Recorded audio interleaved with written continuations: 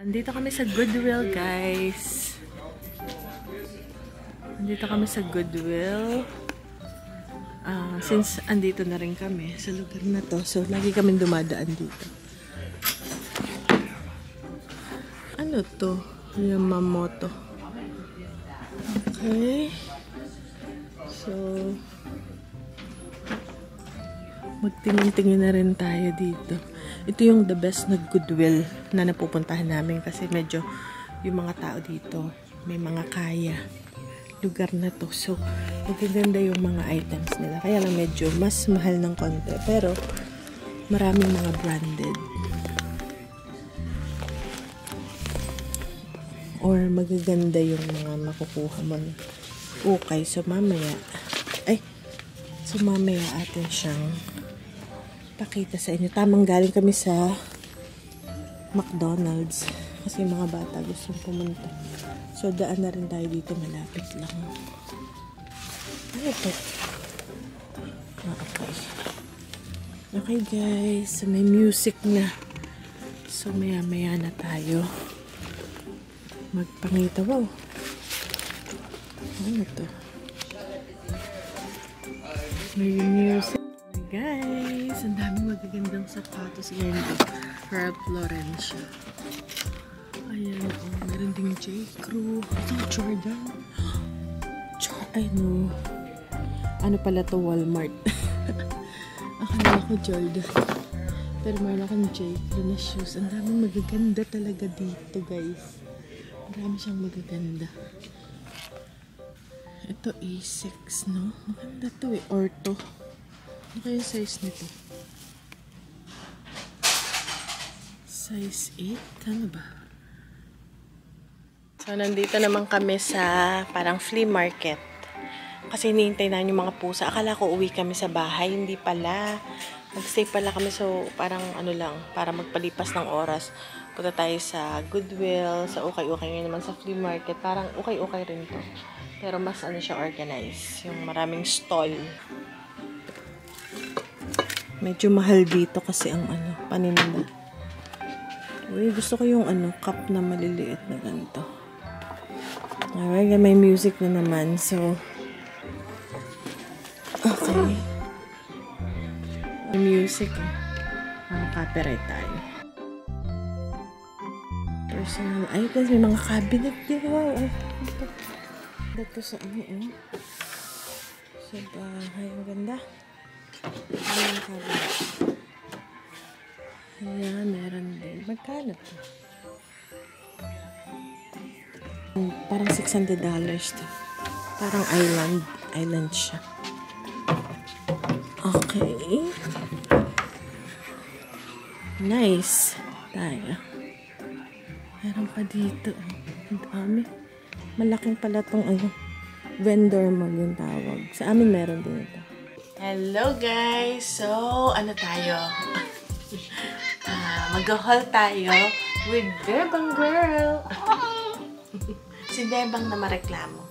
So, si Bebang, ano, ano ba dear? Teka lang. So, ngayon, mag-haul tayo nung nakuha natin yesterday. Di ba umalis tayo kasi pinabakunahan natin ang mga kuting And kapon na silang lahat. So, mamaya tsatsaga natin kung kamusta na kanilang sugat. Pero, super, ano lang, super modern na, super advanced na ngayon yung pagpapakapon. Nagpunta muna ako sa Goodwill, sa flea market, or vendor mall ng mga paninda. So, ngayon naglilist ako sa aking eBay at Poshmark na aking mga paninda. So, tumigil muna ako kasi gusto kong pakita sa inyo yung mga deals na nakuha namin doon. So, una muna is ito. So, yung mga bata, gustong-gusto nila yung coldest water bottle. Di ba meron tayong coldest water bottle, if you guys remember. Um, so, kung gusto nyo guys na, paborito kasi namin marami ako. Andun sa taas. Tita yun, yung may pink, blue, puro coldest water bottle yun. Paboritong gamitin nyo ng mga bata, especially ni Ben. Kaya lang sobrang laki para sa kanya kasi pang adult yun. So nakakita kami doon ng brand new na coldest water bottle. I will link it in the description box below if you guys want. Ano siya, stainless steel. Tumatagal yung lamig ng tubig niya, especially pag summer. Um, Ako hours and hours. Bawa may yellow or something. Matagal siya. Insulated kasi siya. So, nakakuha kami. And, ito, $8 lang. Oh. So, good deal to. Kasi si Kuya, paborito yung kulay orange. So, yun yung pinili niya. Ah, diba? Brand new. Nakakatuwa. Ang daming magaganda doon. Tapos, ito naman yung kay Ben. Hinugasan niya na Joy in Every Bottle. Ano siya? $9.60 to. Kahit nakita ko dito sa kanyang dito sa kanyang ano ba to? Strap. Ayan. Nakakita talaga. Pwede ko siyang gamitin sa ibang bag ko. Yun ang purpose. It, ito talaga yung pinanterya ko dito. Kita-kita ko dito. Di ba? Pag sa bag, ganyan. Pwede mong palitan yung strap ng bag mo. Pero actually, dito to sa bote. So, ito yung bote niya. Ang cute. Join every bottle. Ayan. Parang pambata rin to. Ay, ayun, oh. Natutuwa lang talaga ako. Ang cute na kasi. Tapos pwedeng hindi mo siya lagyan ng strap. Hawak lang. So yan, ilagay ko siya guys dito sa description box kung gusto niyo. Stainless steel siya. Yung talaga yung number one natin. Ba't natin siya gusto? Stainless steel. Ayan oh. Diba? Pag uho-uho tayo. So, ganyan. Si Bebang. Si Bebang kasi ano yan eh, makulit. Yung pag hindi nakuha yung gusto niya, hindi siya titigil. Baliktad yung pagkakalagay ko ng strap. Anyways. Okay. So, cute na cute ako talaga dito, guys. Naging unboxing na to. Ayan. Diba? Paggawa. Tsaka yung game or something sa park. Meron ko ng konting tubig. O, oh, para mailaman mo dyan. O, oh, diba? Sapatos na pangbenta natin, guys. So, una muna, ito, Fry. F-R-Y-E. Super, ano to, leather talaga siya. Mamahalin siya. Abot siya ng 200 something. Pag brand new. Gusto ko pa naman yung ganito, guys. Yung ito, stretchable to eh. Sana na magwi-winter na, malamig na. Spring muna pala, tapos winter. So, leather, super leather. Tatagal siya. Maganda pa talaga siya. So, hindi ko alam kung kano ko siya ibebenta. Ano to? $10. Kasi nga yung quality niya. And yung brand niya talaga is very kilala siya. Ito naman kay kuya, pang winter. Dahil yung boots niya last year, madali kasing lumaki yung kanyang pa. Ito na lang yung kinuha ko na pang winter yung kuya, kakapal na lang natin yung medyas niya. Tapos ito is size 11, $6.99. So, ito na yung kinuha ko para sa kanya. Kasi, mabilis lumaki talaga yung paa niya. So, may 9, ano siguro siya, 9 and a half. Magkapaa kami. Ayan o. Oh. So, 9, so yan. So, 9, ano to, um, 9 ang paa namin. So, para may allowance kami sa medyas sa winter. So, di ba ang cute lang? $7 lang. Vans na pang babae. Cute lang siya. Parang skater shoes. Pero first time ko makita ng skater shoes na ganito. Maganda yung design niya. Pattern. Yan. Pang spring. Formal na boots. Um, $5 siya, guys. So, di ko alam. Schultz yung brand niya. Maganda yung bag yun, guys. Ayan. And very, ano lang siya, slightly used. So, yan, pang benta na. Nine and a half. Kasya to kay kuya. Pang formal shoes. Kasi meron tayong, syempre, $4.99. Formal shoes for kuya. Maganda to. Itong brand na to is non-bush. So, leather siya. And, kasyang-kasya kay kuyang pa. So, dun natin sila binibilhan ng sapatos. Last few months ago, binilhan, namili kami ng sapatos para sa mga boys. Kasi yung formal shoes nila, sobrang sikip na yung kay Ben din, sobrang sikip na. Bumili kami, oh my goodness. Yung kay kuyang shoes na binili namin is nasa 60 or 70 dollars. Sa store to ha. Tapos yung kay Ben, mga 40 dollars. So, sobrang mahal guys ng mga sapatos. Ng mga... Tapos ang bilit niya ngayon, masikip na. So, sa Goodwill na lang, second hand na lang, 5 dollars lang kasi gagastos ka ng 60, 70 dollars. Tapos si Ben naman, yun nga, kanon $40. Talagang naghanap kami ng mura-mura. Yun na yung pinakamura. na, na ano, ano, parang may discount pa yun. Oh my goodness. Ako mahal na pala kasi hindi kami sanay na bumibili ng brand new. So, pag ganong bibili ka ng brand new, ha? Ang mahal pala nito. Ganon, nagkakagulatan. Parang sa iba, okay lang, ganyan talagang presyo. Kami, ha? Kasi sa Goodwill, mura lang. Tapos, meron din tayo, $5 din. Ano to, guys? J. Crew. Kasi ang J. Crew, very popular siya. I think yung J. Crew is a British, ano siya, brand or nag-originate siya sa Britain. So, mag, maano siya, ayan, oh. So, kakaiba, para siyang Converse, pero, ano man, Jayco, medyo hip and trendy. So, yung kulay niya, kakaiba rin. Ayan, hip and trendy kasi ang Jayco. Paborito kong brand yun, guys. Kaya pag nakakita ko sa Goodwill, binibili ko talaga siya. Ano kaya yung size 8H? Ah, baka high top yung H. And ano pa siya, great condition. So, hopefully, ano siya, mabenta natin siya ng maganda-ganda. And then, meron din tayo na coach bag. Binili ko to kahit na parang super worn out na, ayan o, tatagtagin na. Pero, malinis pa siya. Malinis siyang tingnan kahit na meron siyang mga gas-gas or ano. Tatanggalin ko lang tong mga hibla ng mga, ano, na natatanggal para malinis. Um, kasi meron siyang, nagkakaroon siya ng character ba, yung bag. Minsan may mga tao na ayaw nila nung parang sobrang brand new yung itsura. Gusto nila medyo gas-gas. Para din yung jeans minsan. Ba? Pag yung iba binibiakan, parang tinatanggal yung mga ganto. Parang, parang as used na siya talaga. Ganon. So, ito, magandang, maraming character itong bag na to. Itong coach bag na to. So, this coach bag is, ang mga bag kasi is, ano ba? $5? $4.99 or $3.99? Siguro $3.99. Hindi ko sure. Pero na, it's either $4 or $5. Yun lang naman yung ano nila. So, original siya, I think ha, sa hipo and sa sa tahi and everything. I think original naman siya.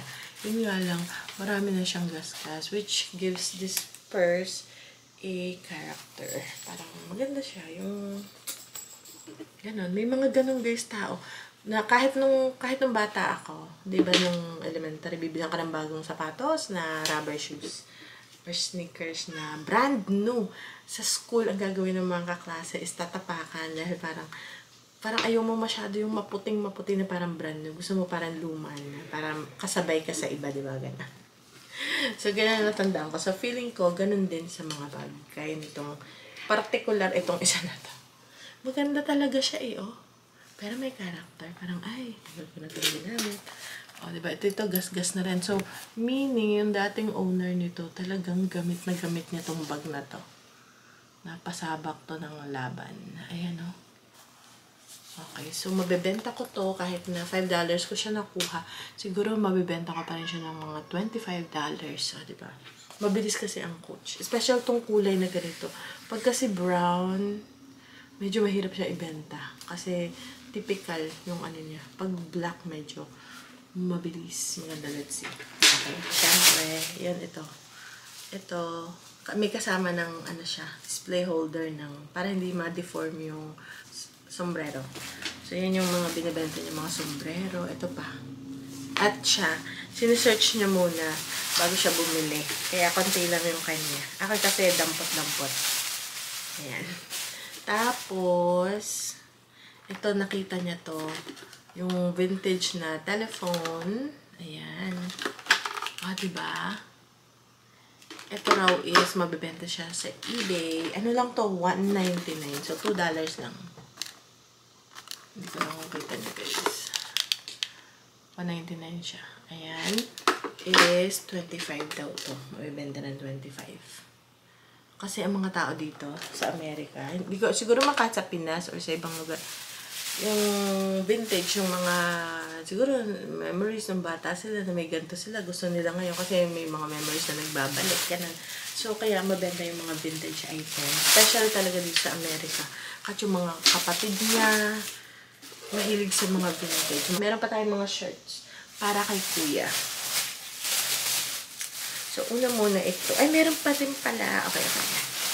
So, ito yung shirt na kasi ko pinapapili ko siya ng gusto niyang kulay or style. Gusto niya kasi yung mga stripes. Ito. May bumili rin ako yung ating sa halaman. So, ito, parang ano siya, parang pink ba to? Watermelon color. Ayan, stripes. Mahilig kasi siya sa stripes. Tapos white. So, yan, gusto niya yan. And gusto ko dito meron siyang ganito sa loob. Okay, so isa yan. And then, meron pa tayong isa. Ito, yan. Ganyan dito. Parang checkered naman to. Meron din ako to sa halaman. Papakita ko sa inyo kung saan ko siya gagamitin. Ito. Club Room. Ito naman. Anong brand ito? Ito, Nautica. Okay, ito Club Room. Ayan, gusto niya magganyan. Blue na parang checkered na maliliit. Ayun yun yung malalaking checkered na siya. Okay. Tapos, ito guys, nakita ko to. So, sinusukat ko kay kuya. Kuya, ang ganda nito. Sabi ko, blue, mahilig lang siya sa blue and white. So, yan. So, nung nakita ko, sabi ko, ano to, guys? Ano to, guys? Hugo Boss. O, oh, diba? Signature na. Ano to, doon ka talaga sa Goodwill makakita ng mga uh, branded na mga damit. Ayan. Hugo Boss. So, this is size, ano siya, 70. Regular fit na. I think this is large or medium. So, kasha rin siya kay kuya. So, yun yung mga nakita na, nakuha natin. So, ito yung nakuha ko na glass. Meron kasi itong purpose bucket ko siya kinuha. So, tanggal natin yung price. This is $2.99. Medyo mahal na. Dati, ano lang to 99 cents lang ang price ito. Pero ngayon, 2.99. Kasi makapal siya. Yung pagka-glass niya. $1.99 lang. Kasi mas manipis yung... Pareho naman. Hindi ko alam kung ano ba pala. Okay guys, so ito na yung nakuha natin dun sa ating halaman. Ito na nakuha natin sa Costco. Pakita ko muna yung mother plant niya.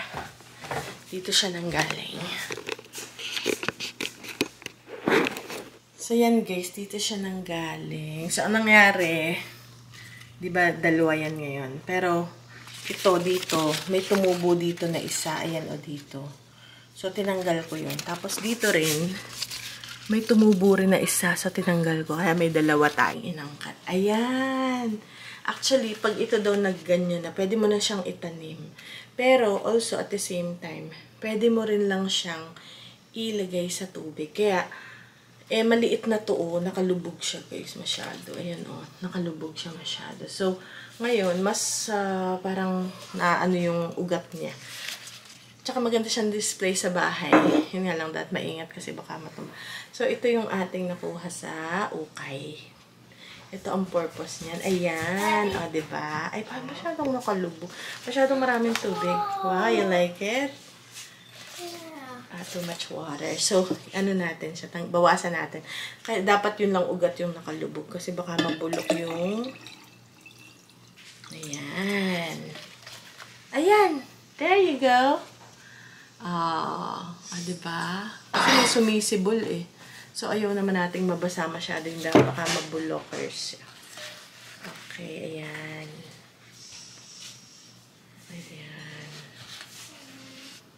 Ah, di ba maganda siyang display din sa bahay, nakaganyan sa table. Tapos nakakatuwa, kita mo yung ugat. So, yun ang purpose. Also, meron yung isa natin. Ito naman, kita nyo, oh, ano na siya, parang hindi makaano, ang kapal na nung ugat, oh. Malaki kasi siya, kaya makapal yung ugat niya. So, yan. So, ilagay natin. As usual, marami na naman siyang tubig. Okay, bawasan natin ang konti. Dapat hindi masyadong nakalubog yung dahon. Baka kasi mabulok, hindi makakahinga. Ah! Parang feeling ko mabibiak kung ano masyadong manipis. Ayun. Ayan! Perfect lang siyang ganyan. O, oh, diba? Tapos maganda siyang display sa table. Kasi nga, ano siya, yung kita mo. Kasi may nakita ako ng video na ganon na ano lang siya, naka-display sa table. Magandang ting, iba-iba yung kanya. Iba-iba rin yung bote niya. May pabilog na parang takore. Sa akin gusto ko yung ganito. Meron din siyang ganito. So, nung nakita ko to sa Goodwill, sabi ko, bibilhin ko siya para dito. But diba guys? Ayan ang ating um, nag-propagate tayo ng corn plant or fortune plant pala yun. Tama lang. Cute-cute lang siya. Oh, uniform kasi pareho. Ito nga medyo green ang kulay nitong bote. Ito naman super clear. So, yun lang guys ang ating haul for today. Marami na tayong halaman dito sa ating bahay. Makatuwa ating mga halaman.